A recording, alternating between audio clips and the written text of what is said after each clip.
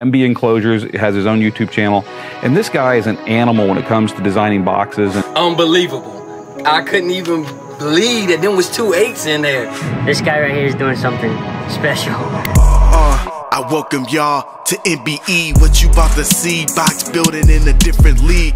In this SQL scene, believe that money ain't a thing when it comes to its kings. Now that's fact, not fiction. Call 44694 48 18. Don't matter, you got four eights or one eight or anything between. He got what you need. This is my crew. This is my gang gang. These are my kings. Uncle Sam wants you. What's up, man? This your boy MB. this your boy MB, man. I can do that because I'm gonna use that for the thumbnail. So you want to participate in this challenge? Great, great, great.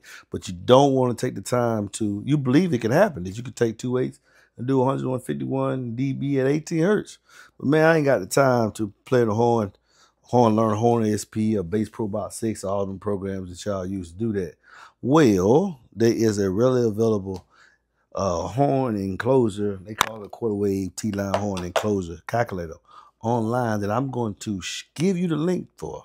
Show you what to type in, what it looks like now, what hyperlink to touch, and then I'm going to take you to the page and show you how you can design your own horn enclosure we're putting in a couple of just a couple of features. Uh, TS parameters. VAS is needed, QTS, SD, and FS. Now I'm gonna tell you something. And a horn. You can Google it. You can ask AI this. What are the ideal parameters for a horn? QTS, number one. Always a low QTS. The closer to 0.3, the better. Uh, low FS, need as well. Uh, da, da, da, da. Oh, this, this one more low FS. VAS, not so much because this don't work on the same principle as a ported box. There's another. Oh, a high BL. Strong Stronger than B, the BL and the X Max are coming as well. But most horn theorists will tell you as long as you got something between 10, over 10 or 12 millimeters, you'll be fine. The high X Max does help. That does help. Uh, the well, that's the case. That's why some of y'all think that the Z8 will excel over the B2 audio. But the key feature for a horn is a low QTS, and that's where you will find that the B2 Audio Rampage has the lowest QTS and the lowest FS. So it definitely has the ability to play, to have a, in relation to what it's moving, because the QTS is the average of the QS and the QMS, its motor strength is actually stronger for those parts than the Z8 does. So when you model it out, you will actually see if you can go into in-depth like Horn ESP. In actuality, the B2 Audio Rampage 8, and that's why I always use B2 Audio subs and horns, is far superior than most companies' 8s on the market today, primarily because he keeps, like on the version 2, 8, the, the, the QTS is 0.4. But anyway, let's take you over to the website, and then we'll go from there. Don't say I never gave y'all nothing. Okay, so let's go right here. This is something that all y'all can use. Dynamix. You see it down. Let me type it all the way out so y'all can see it. You see I'm finna type with Dynamax audio. You hit enter. Boom. See the screen and come up. So look at it. Dynamax audio loudspeaker enclosure design. Click on that. You click on that. Okay. Now they changing the site around. But if you just scroll up and mm, this guy, he's doing a lot of things. I used to contribute to this because this guy's a lot of stuff I used to use way back in the day. But this is what I want to show y'all. This is, this is one of his most popular designs. Well, no, this is different. This is a new one. On axis chamber bass reflex with Labyrinth infra resonator. Interesting. But what I will say is this. Let's go to right here. So one quarter, one fourth wave flare, quarter wave flare, vent T-line horn bass calculator. Basically a backloading horn. Uh, mimics a little bit of each one of the features. Let me answer this question right here for him. I wanna Do four eighths. How about that? And you got the pose up there. Cool. Uh, you see he's having a resurgence on this site. So anyway, this is the quarter wave flared line horn bass reflex enclosure. Uh, basically a backloaded horn, rear loaded horn, using two principles. First, the length of the frequency trying to be attained can be calculated with this calculator, and that's the T-line aspect, kind of sort of because of the length. But it has a horn aspect in that it exponentially increases from the compression area like a horn to the low impedance setting, which is to the outside air. So this is his design of a backloaded, rear loaded horn, and it works. Uh, like I told you, way I'm gonna tell you now, two of those uh, videos, and I'll put them in the description of this video, with the Rampage prototype and the Rampage version three. I use. I just said, let me try this. Let me try this because I'm gonna try to give y'all a simple way of getting your own horn if you don't want to take the time to learn horn ESI horn ESP as I have or Bass Pro Box 6. This is just a ready-made calculator where you don't have to in, input too much information, but just the key things that's actually needed for horn enclosure. So he goes into breaking it down to you, but here's the primary part right here. He tells you here the chamber depth and what things are going to do what. Uh, what it gives you instructions on basically how to manipulate, and this is what you're going to want the end results. The, the, the, the, cut panels for each one of these at the bottom. We'll get down there as well. But this is what I want to show you. Right here. This is the calculator. Now, where you are at sea level, you can change this too as well because that will change some of your performance of the horn. But if not, you can just keep leave these defaults in. All right. These are things he's going to ask you. It was the FS of the driver, the QTS of the driver, the VAS, SD of the cone, and displacement of the driver. You would enter those figures in. You would have to calculate, because most of it was coming liters, you're going to calculate it over into cubic feet, and then you would put that value here. Once you put all the values for a single driver, if you're using one or more, put that here, the number of drivers. Now, it comes preloaded, telling you the frequencies of this box right here but you can easily change it. And let's see if I can change this for you and then come back later and show y'all that. I'm gonna change it real quick so it won't take so much time on the video. Okay, now I took the time to, I'm gonna use my rough, my B2 Audio Rampage 8 version 2 set. I want you to look at the TS parameters here. Look at the VAS. I convert that over to cubic feet. Uh, the FS, and look at the QTS. Well, I took that information and went here to this calculator, this calculator here. I showed y'all how to get to. And I went here to build this backloaded horn design. I inputted that information, as you can see, number of drivers two. Each driver has an FS of 36. QT has a 0.44. VAS has been converted. SD of 32, arguably, might be 31, but I just said 32. The driver displacement, the driver displacement for each driver is 0.12.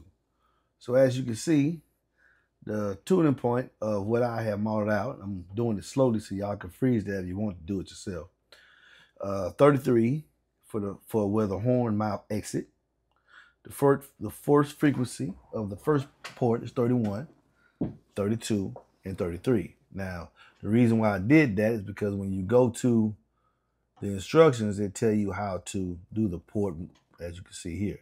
So I did exactly what they told me to do, and that's how my frequency are sequential. Uh, next is the chamber depth with eights, pretty much leave that right there. It's gonna get you now. As you move that chamber depth, you will get the overall volume to increase and your and the horn gets bigger. Now I'm gonna tell you something about a horn getting it bigger is is is, is a bonus. It is a bonus for overall dispersal of the sound. Uh, the pressure is going to generate is going to be there regardless. I mean, but the bigger the horn, the more air can be covered. Now you see, I changed the parameters that's list what's listed here in the beginning. See, this is what they list. Okay, I changed it here, and I changed the port, the front port, the rear, and the exit. And they also tell you when you change things, which the minimum cross sectional area needs to be. Do not go under that. Whatever they have there, as you can see, it's in black. It's in uh, gray. So as you input information into the open field, it changes the information and that you have. It's going to tell you what you have and what's the minimum you can have. Now, as you change those things, you will see this change. Now, I have took the liberty of showing you something that works. I've already built this length for that tuning for one. But what I have done is increase the cross-section area of the mouth, where it says area port exit, to be the cross-section area port is 80, and the minimum needed is 64. So I'm greater. Now you can make that as big as whatever dimension you want to make it. But the bigger the better for the dispersal of sound. I did this so it can fit inside behind my seat. So this design works behind my seat. As you change these numbers, different things happen.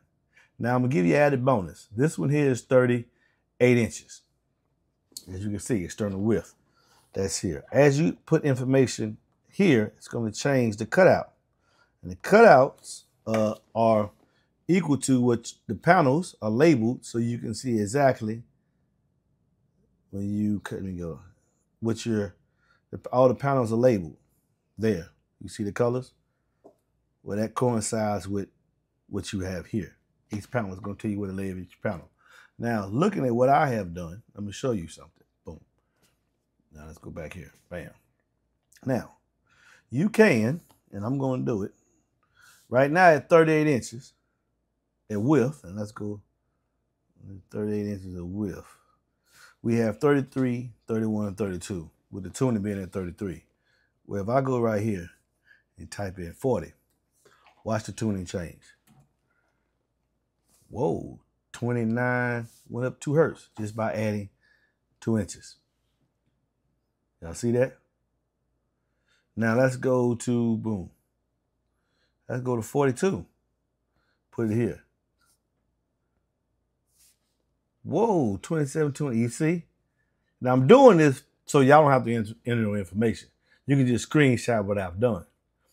Problem is you're gonna have to screw you gotta put this information in plus the information in up top, and it's gonna tell you all the cut sheets at the bottom. But these are parameters that you can use to build your own horn. Giving them to you.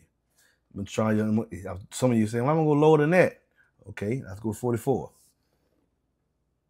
Hit enter. Boom. See how I keep going? 25, 26. Now, changes need to be made because the first frequency is too far from the last. So this design will work from what? 42? Boom, boom. 42? Yeah. 27, 28. Now, here's what I'm reading. You see, that is sequential. 42, and it'll work at 40.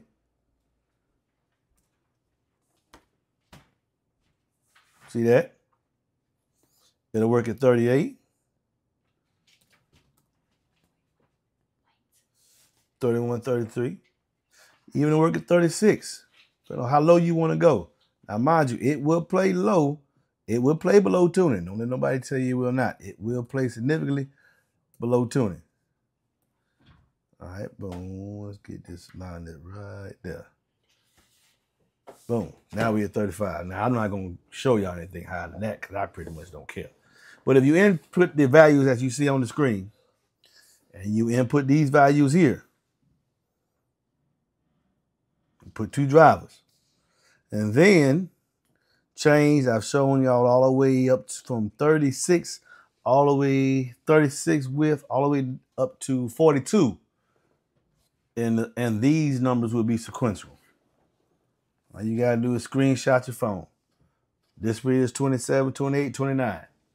The one that I have modeled out, that I'm going to show you the performance of, and I've always shown you this calculator works with the single horns that I've built using this principle. You see, I put the links to the videos inside the description of this video. But I just gave you something so you can duplicate what is going on. And if you know how to manipulate them numbers, you can tune this box all the way down to 20 hertz and try for yourself the challenge. Y'all be blessed. Now, it's real simple. Don't say I never gave you nothing. You want to participate in this challenge. You want to make it happen. You can lengthen that. You can play with the numbers and come up with your horn design of 20, 20 hertz inside your cabin of your vehicle. And then, hey, let's make it happen. Pick whatever driver you want. Pick them two drivers. Let's see who's gonna hit 151 dB at 18 hertz. I just took the complexity out of it. Completely took the complexity out of it. So you'll start worshiping these people like they're doing something that you can't do. Cause like I said, and I'm gonna stand by it. Two sundown Z8s did not do 151 dB at 18 hertz. It cannot be done.